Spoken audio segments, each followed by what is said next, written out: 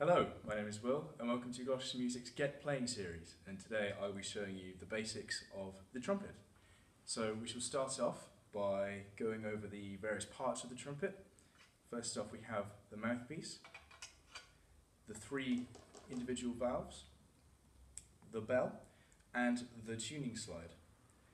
So the basics of holding the trumpet is probably the most important part of starting to learn the instrument.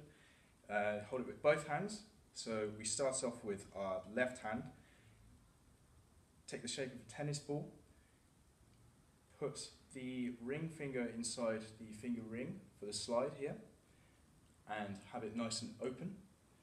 And then take the right hand with the pinky slotting into the finger hook, having the three fingers on the uh, valves accordingly, and then hold the thumb nice and straight. That way you get a lot of leverage when playing, a lot of height, and there we have it.